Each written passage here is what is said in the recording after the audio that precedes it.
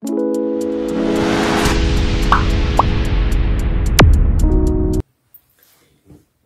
there. I am Camille Oneash Ismail, and it's my pleasure to serve you truth. Today, I just want to say to you remember to take action. And in order for you to take action, you must have a reasonable conversation with yourself to know that no matter what the situation may be, no matter what the situation looks like, I am going to achieve this goal. And once you start having that reasonable conversation, you put that idea on paper and then you start to work at it and chip away at it until you achieve it. And the achievement that you get is what you celebrate. And once you celebrate that achievement, the smiles that you wear, people will begin to ask you, what is it that you're doing? Then you could share your story.